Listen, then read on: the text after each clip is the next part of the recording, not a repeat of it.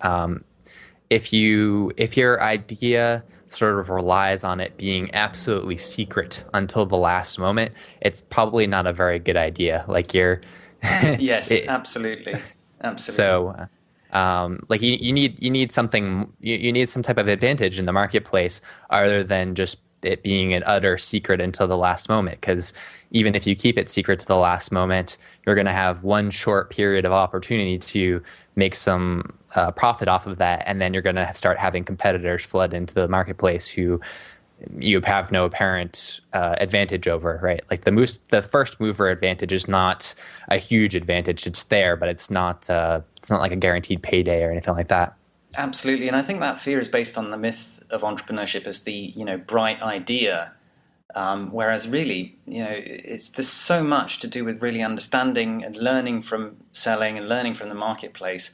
The bright idea is is uh, you know it, it, it's a bit of a myth that successful entrepreneurs kind of have this incredible light bulb going uh, off in their head moment where they come up with some incredible innovation. There's so many tiny little innovations and learning as you go that I think uh, the fear is is kind of um, unfounded. Um, and you read about you read about inventors, right? And people, the person that invented the light bulb and the rat trap and created, you know, better rat trap. And I remember hearing a, a This American Life story where they just talked about all these people who were, um, you know, still in modern times, like trying to reinvent new rat traps. And it was sort of a metaphor for these people spinning their wheels, um, doing things that there was no demand for. Um, so there's a huge difference between someone who has a bright idea and someone who then brings that to the marketplace. Bringing it to the marketplace it requires a tremendous amount of talent and effort and study and it's a whole skill unto itself right? So there's a huge gap between the genesis of an idea and then making it successfully sold in a marketplace. Mm, absolutely the other thing that, people write about in terms of their concerns or worries about doing a, a, Kickstarter or a crowdfunding project is the reputational risk of like, well, you know, what happens if we launch this and we don't reach our target? And you know, what were your thoughts about that when you decided to set uh, your Kickstarter up? Um, I, I, you know, in terms of reputation, I guess I wasn't too I wasn't too afraid of reputation. Like the worst case scenario is um, uh, if we don't if we didn't hit our our goal for the thing, then it just it doesn't go through and no one gets charged money. And uh, to me, it's not a big deal. I mean, I'm sure there are some people that could. Um, you know, become haters about that, but you know, whatever. Like it's it's just it would have been a, a project that we tried to attempt and and no one really got burned in the process. Um, and really the the the dam to, in my mind the damage that could happen to our reputation would be if it goes through successfully people do pay their money and then for some reason we weren't able to deliver on our on our product i don't right. I, I, don't have much fears of that but that has nothing to do with crowdfunding in particular that would be um, you know equally applicable i think to uh, non crowdfunding although yeah. i guess I, I, guess you could say like um, there could be certain projects or services or, or whatever where um, people might promise to do a certain thing and the creator doesn't have necessarily a good reason to believe that they will be able to follow through on the promise. And that can certainly be sticky. I've certainly heard of uh, kickstarter projects and crowdfunding projects where it went through and then for some reason the creator wasn't able to deliver on it. But for our particular project that wasn't it's not really a big concern for me. Yeah, I think the other thing is that you know there's no way around the risk of failure in entrepreneurship anyway. I mean, obviously, even if you weren't getting money externally, you put up if you put up your goods and, and try and sell, and people are not interested, and you have to fold the business. That's kind of the same thing. So it just seems to me like if it's not going to work, it's better to reach that conclusion sooner than later. And in some ways, if Kickstarter actually, if a crowd-funded project like this actually speeds up learning whether or not people are willing to buy your product, then that's all for the good. Right. Yeah, I agree with that assessment. So I wonder, what do you think, in terms of your experience um, so far, have been the real sort of lessons learned, and what would you do differently that if people are interested, uh, you, you, know, they can learn from your experience uh, if they want to get into doing a crowdfunding project? So I think in terms of selling, the we, we definitely noticed some important patterns and i'm still sort of processing this information and in the future i'm hoping to actually write a blog post um, to explain more in detail about how i think people can reproduce what we did in a more successful way. But part of the information that we've gleaned so far is that the people who were most likely to support us to purchase our products and so forth were friends of ours like and and for us that meant like people who are on our Facebook friends list. And both Andrew and I are relatively like picky about who we put on our friends list. We're not the type of people that just have 5,000 random people. So there was some kind of emotional investment for the people that jumped on board real quick and were the most enthusiastic about the project. Right. And beyond those friends, I think the people who were the most interested were the people that had extremely relevant interests, um, which is what you would expect. Now, another group of people that we were sort of hoping we might get some help from were kind of minor celebrities related to our product. So, uh, the t shirt that we're selling through our Kickstarter is um, a Borders Are Imaginary Lines t shirt which I think you could basically say is sort of a, a voluntarism or anarchist or um, sort of anti-immigration sort of themes T-shirt. And so we, be leading up to the crowdfunding, or anti-immigration uh, control, to be more specific. yes, yes, yeah. right. Uh, and so, um, so leading up to the crowdfunding website, we identified about you know 50, 70, 100 people who were sort of minor celebrities in this area that had um, uh, sort of clout with their social circles. And we, we messaged them once the project went live. And the vast majority of those people didn't even bother to click to look at the Kickstarter, um, let alone you know respond or try to help us out in any way. So um, I, I think that I definitely learned something from that. Um, that we we certainly couldn't have expected automatically any kind of assistance from these uh, people who are already sort of established in their social communities. Um, really, for us, it was about putting in um, tons of sort of manual labor in contacting people. And I mean, we probably sent about a thousand different individuals messages through Facebook, honestly. And wow.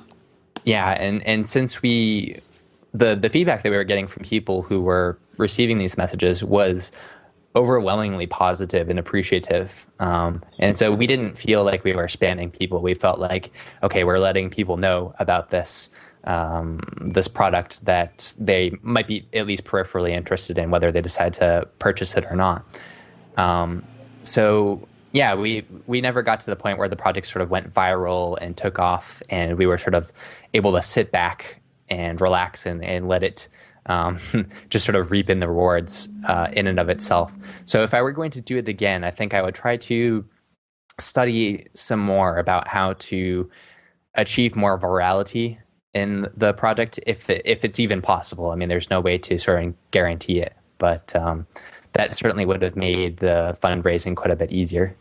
Yeah, what I hear from what you're saying is that you, you really wanted to um, kind of get uh, what's referred to, I think it's um, people some, sometimes call this mavens. You know, people who will who have connected to a lot of people and can potentially spread the word about your product. And it sounds like you you want to look in future to a way uh, to engage them earlier so that you can get more more um, viral uh, earlier on um, which I, I, can definitely see how that would help. The, the other thing I wanted to just ask you is that you mentioned Facebook, and it sounds like you've really concentrated on Facebook um, as your sort of channel for outreach. Is that right? And what, what are your experiences of Facebook versus Google Plus versus anything else and emails, direct emails, or what you know what what's worked for you and what hasn't so far?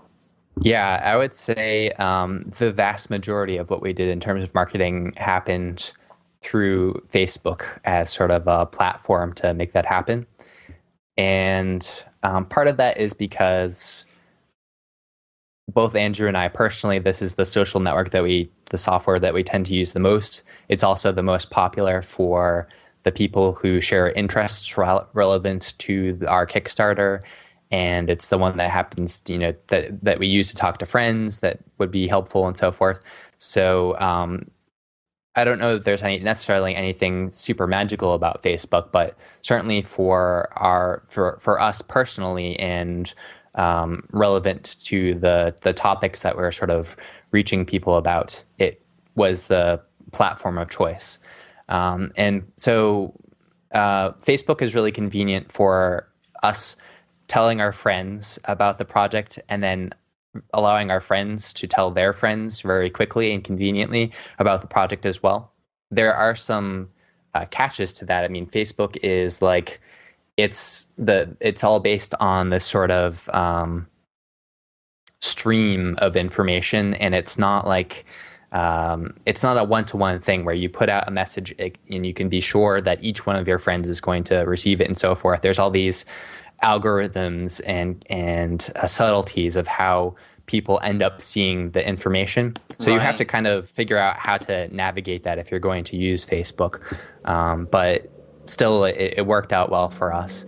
And the other thing that's going on in Facebook is Facebook has groups and pages, and these are way of ways of aggregating people with joint interests. So, you know, for instance, we were able to identify a handful of pages and groups uh, with people that are you know directly they have interests that are directly related to the product that we're trying to sell and then at that point we can sort of um, reach out to the group or reach out to individuals in that group and let them know about what we're doing.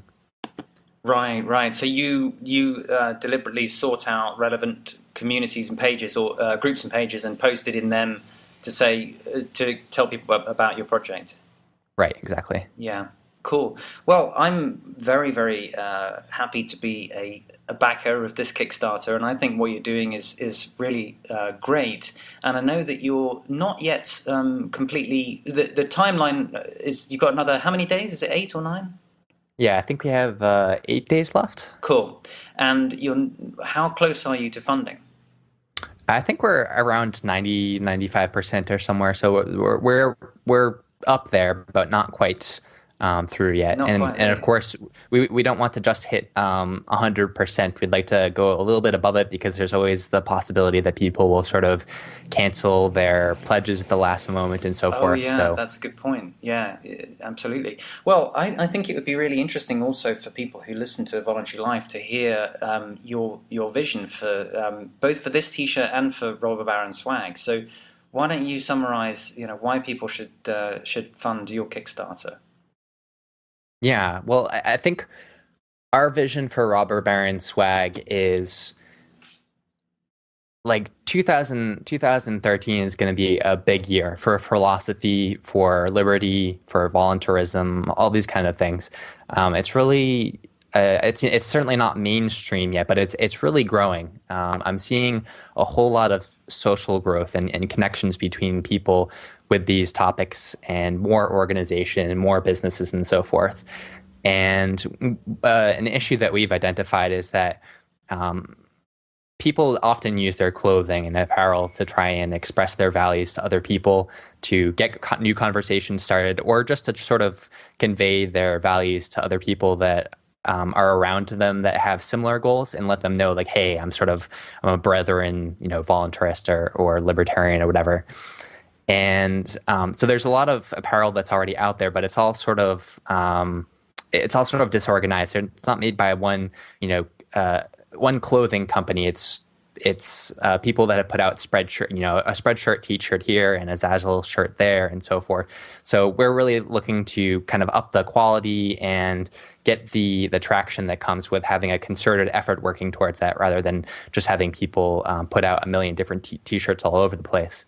Um, so we're we're looking to make basically premium apparel uh, clothing, so that uh, in the in the areas of philosophy and voluntarism and so forth. So we started off with a voluntarism T-shirt. Um, it's a Borders Imaginary Lines T-shirt.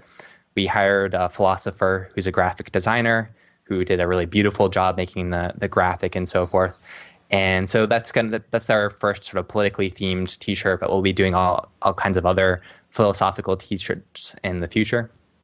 And so I think if people want to see if they want to see philosophy and liberty becoming more stream more mainstream, um, more hip, more cool, then this is a type of project that's that's really going to help with that. And even if they're not into voluntarism in particular, if they're interested in you know uh, religious topics or unschooling or Bitcoin or whatever, we're going to be doing that stuff as well. And so if they want to kick in a few bucks towards our, our project, that's going to help us um, achieve those things sooner as well. Cool. And I, I will say that I think the first t shirt is a beautiful design. It's really, really nice, the graphic. Um, so I can see what you're doing in terms of you know wanting to have uh, something a, a t-shirts with a message with purpose, but also not just you know big fat fonts and uh, which is kind of the history of those kind of um, t-shirts with the purpose is that they generally tend to look a little bit um, in your face and and, and uh, bland typography, but you're clearly going for something that looks a, a, a lot more stylish. Yeah, and I think that just it makes it easier for people to um, to convey their values in this particular format. It, it kind of sucks if you're really passionate about something and you want to you want to share it with people, but the aesthetic presentation of that thing is kind of dingy and not very appealing. It makes you kind of hesitate about sharing that with other people, and, and it makes it you know, it makes it harder for you to sell it to other people. So we're just looking to help out with that that problem.